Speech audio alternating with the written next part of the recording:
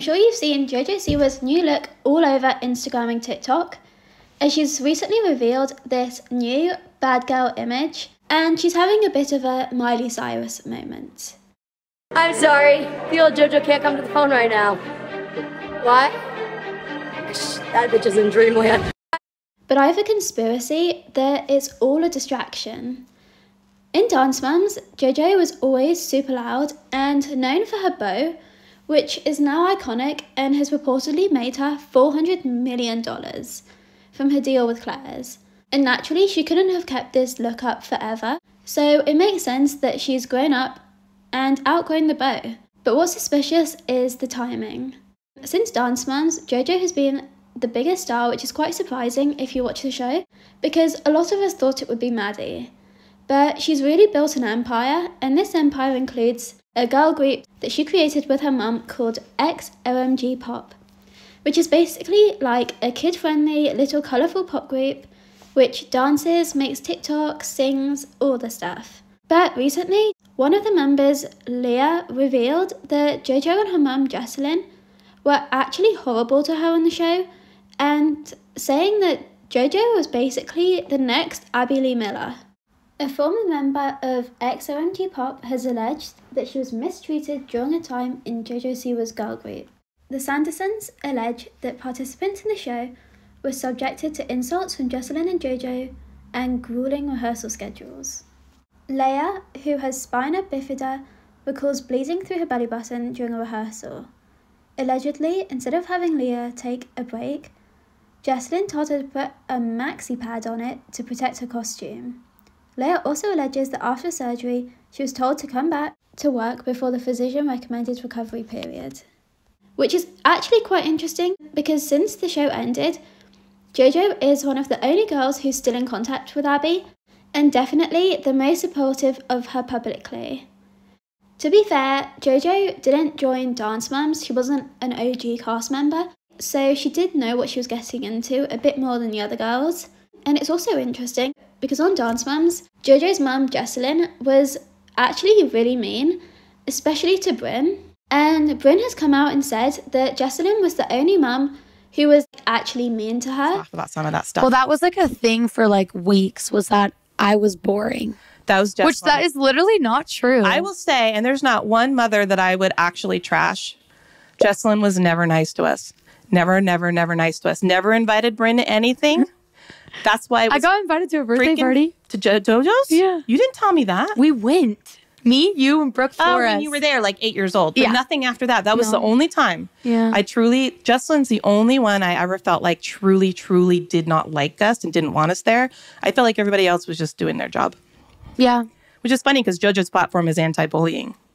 It was clear Jessalyn just wanted JoJo to be on top and was annoyed that Brynn was the highest awarded dancer because I think she had the national title, like the biggest national title.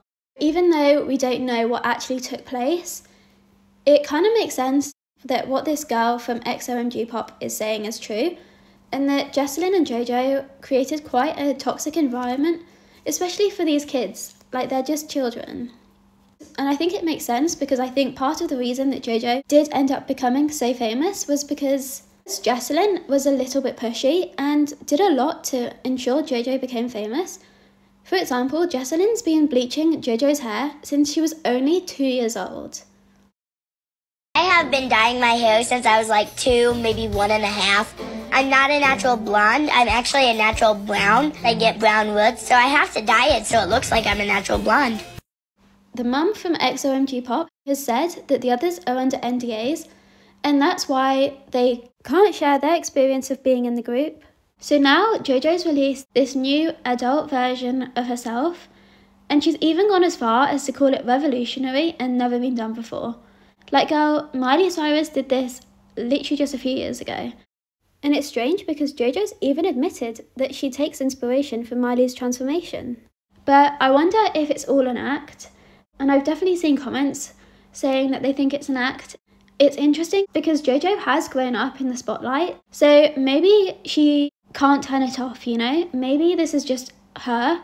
Maybe she is literally just very dramatic. I mean, she was a very loud child, so it's not unbelievable. But maybe she's doing all this, saying it's a new her, deliberately saying this has never been done before. She's creating this new genre of pop. I wanted to start a new genre of music. And they said, what do you mean? And I said, well, called gay pop. Songs like Applause by Lady Gaga. It's the On My Own Miley Cyrus, Can't Be Tamed Miley Cyrus, Karma. It's that that world of music. It's no secret that my transition is heavily inspired by Miley Cyrus. Of, of course, Miley's flip, Miley's switch, Miley's turn was the greatest thing that I've witnessed with my own two eyes.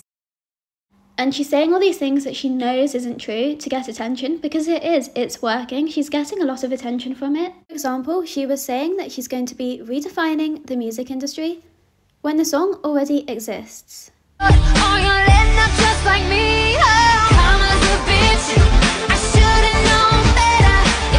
I can't help but think that it's all a distraction, that it's all an act. JoJo knows she wasn't a bad girl. Like, that's literally ridiculous. She was the JoJo Siwa with the bows. She wasn't a bad girl, excluding the cheating rumours, which I don't personally think she's referring to because I don't think she wants people to bring up the fact that she cheated. That would be bizarre and it would make me think that she doesn't actually take it as serious as she should. But I feel like she was starting to be called out on what this girl had said about XOMG Pop and her treatment, and suddenly, when these allegations came out, she's become this new JoJo. And while I'm sure she did want to outgrow the bow phase, I think the timing is interesting because, as far as I know, she never acknowledged the allegations and wasn't held accountable because now everyone's moved on. So it's definitely suspicious. For example, she was always like a pretty good dancer, and people were saying, like, why can't she dance this new dance? Like, this new dance she's doing very dramatically. And I just wonder if it's all for attention, so that either her new music gets really popular or to distract from the allegations. But to be honest, overall, I definitely think it's an act. Obviously, JoJo has years of experience dancing and is a very good dancer, so people are saying she's deliberately not trying her best so that the video goes a little bit more viral. And to be honest, doing these videos for attention isn't out of the realm of possibility when you consider she's also posted videos like this, where the fall is obviously on purpose and then she goes and ices the wrong foot. If she was a new her, she should post pictures smoking, she should post pictures drinking, she should kind of do something that's a little bit more rebellious, but all we've seen is her wearing a black outfit, like it's not a bad girl. So it will be really interesting to see if it all pays off, and she does indeed manage to change her image and mature when Miley Cyrus ditched her Disney girl phase, and she did it very successfully, she was seen partying, she did seem like it was genuine. This seems like an act. So the thing is, I think it's a step in the right direction if that's what she wants to end up as, but I don't think it's enough to completely change her image. What do you think about all of this? Do you believe that JoJo has really started a new phase and is truly a bad girl, or do you think it's an act? And if you think it's an act, do you think it's because of the allegations made against her trying to distract, or is she just trying to ditch the Bobo phase? Either way, I do definitely find this new song Karma quite catchy, and I think this has definitely been a successful marketing tactic. Please like this video if you enjoyed, and subscribe. Thanks!